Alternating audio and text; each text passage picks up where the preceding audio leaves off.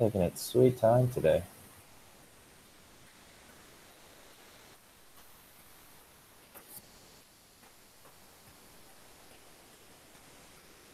Mm-hmm. There we go. Okay, so welcome to Unit 3, Lesson 1, where we look at the basics of DNA. A large majority of this should be reviewed from grade 11 for you, so I won't spend too, too much time talking about the specific details uh, that pertain to the concepts that you've already learned. I want to instead focus on the new concepts that build off of those ideas and kind of tie in that aspects of the biochemistry learned in Unit 1 as well as that uh, metabolic processes and the things that we learned from Unit 2 and, and how it pertains to DNA as a whole and why it's so crucial that we understand this concept in the context of everything we've learned so far. So if you can recall, DNA is the, uh, the function of DNA and where it is located. It is in the nucleus and it provides the instructions for cellular processes. And the interesting component about this is that now that we know how some of those processes start to work, we can start to tie in the understanding of how DNA kind of directs the show, so to speak. So DNA is arranged in chromosomes, right? And typical human somatic cell has 20 or 46 uh, chromosomes, the gametes containing 23 per chromosome, so two sets of 23. And we, we notice that this is necessary because when they combine, you want to add those gametes together. When a new offspring is formed, uh, the mother and the father's DNA are going to combine to form that 46 chromosomes to give all that genetic information to that offspring, half from each parent. That way we can ensure that genetic diversity. So when we think about proteins and when we think about amino acids and what the, those proteins are made out of and how they're arranged in different quantities and sequences, we can really start to appreciate that those proteins have an incredibly important function in the cell. And we've looked at some of those proteins already. Enzymes, they really kind of help drive the show with regards to reactions in the cell. So when we think about the sequence of amino acids, it's going to help dictate the structure as well as that function. So how do we how do cells know how to build proteins? They get that instruction from DNA. Those DNA uh, give instructions to the cell and they tell the cells how to build proteins. So in this unit, we're going to look at the direct translation and transformation of DNA information into protein information, which the cell will then utilize to do multitudes of processes. So we're really looking at the underpinning concept of life itself as a result of the ability for DNA to store instructions and then give those instructions out, which uh, for me, it's it's maybe one of the most beautiful concepts of biology that that movement from DNA storage to uh, the things that we are as a species, as a people, organisms, what have you. It's it's it's beautiful. So the human genome contains approximately 25,000 genes and more than 3 billion base pairs, right? We're just talking about the human genome as a whole here. 25,000 genes, 3 billion base pairs. So when a particular protein is needed, the cell will activate those genes that will code for the protein. We're going to look at this process in uh, in detail later on through this unit, but each gene effectively codes for one specific protein. And, and that is kind of the important component of understanding that connections of, of genetics that you learned last year when you looked at how genes get passed on and, and those Punnett squares and understanding of how that works with regards to disorders, traits, what have you. And now we're going to look at the actual biomolecular components of how those things are passed on.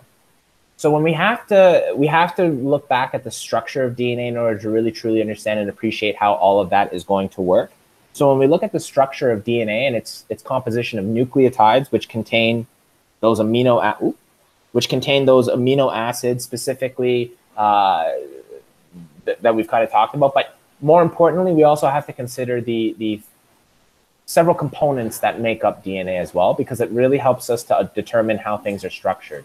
Uh, so it contains that phosphate backbone as well as that deoxyribose sugar that comprise to make that backbone. And then we have that nitrogenous base, that part three, that's going to really help with our understanding. So there's two uh, groups of nitrogenous bases, four in total. So we have purines, which are double ringed.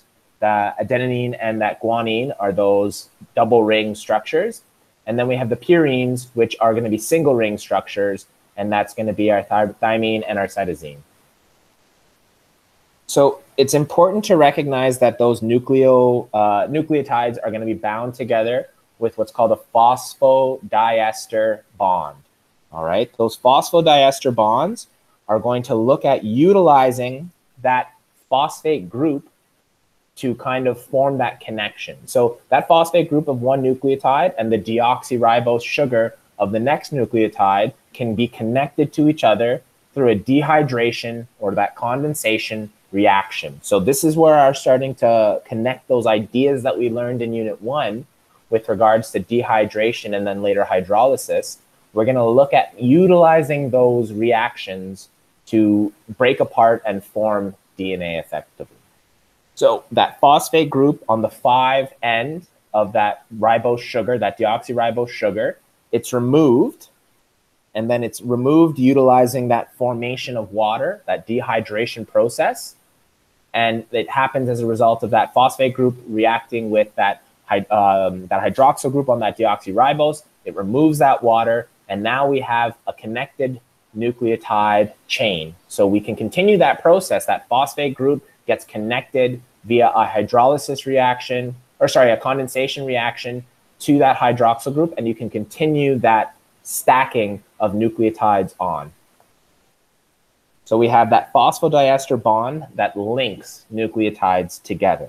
And again, that's something that we've kind of looked at consistently throughout this class, specifically in Unit 1 and a little bit in Unit 2, the idea that we can remove water, we can remove water from a hydroxyl group and hydrogen ion specifically, and we can look at that connection of things using that dehydration.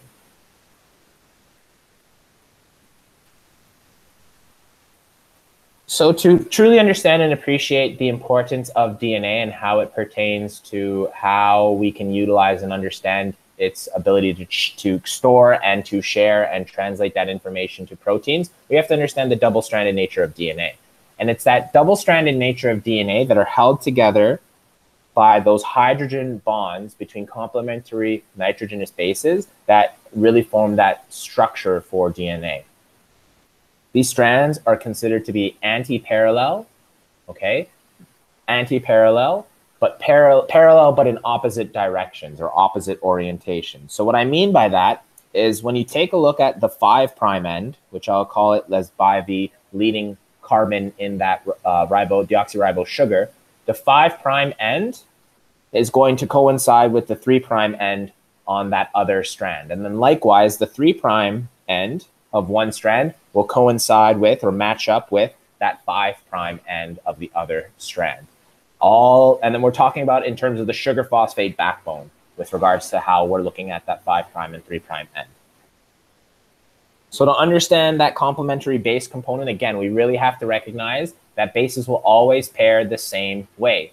That uh, C and G will form those hydrogen bonds with each other, and the A and T will form hydrogen bonds with each other. It won't really work any other way, right?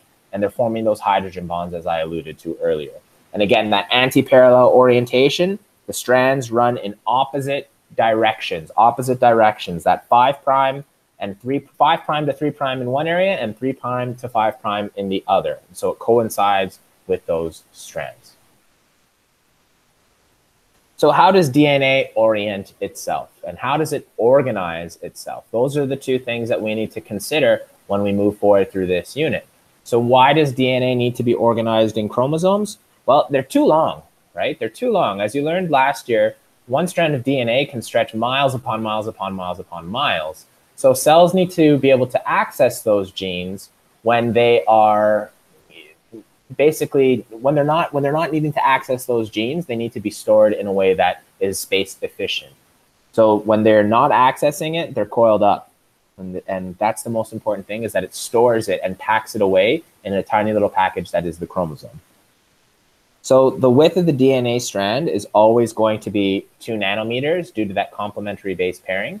And it's, again, important to recognize that as it unravels, you can have access to it to uh, copy it, to read it, to make it into proteins, what have you. So DNA is wrapped around proteins that are called histones. And those histones form as the backbone structure of that chromosome, and they coil them together to form those things called nucleosomes. Several nucleosomes bundle into coils, and they form thicker strands called chromatin. Chromatin then condense into chromosomes. So the last thing I want you to recall with regards to this unit, or with regards to this lesson, sorry, is that DNA would be found in the form of chromatin during interphase, interphase meaning that G1, S, or G2 phases. And then chromosomes will be found during cellular division, mitosis, and meiosis. Okay, that is the end of the lesson one for today. Uh, I'm going to take a bit of time to let you digest some of this information. And in about 30 minutes, I'm going to come back and I'll do lesson two this morning. So if you want to take a look at the homework section 1.5 in unit three folder, questions on page 47, 8 to 12, take a look at some of those to kind of really hammer home the points with regards to the information that I've shared with you. And then we'll come back in about 30 or so minutes and I'll do lesson two.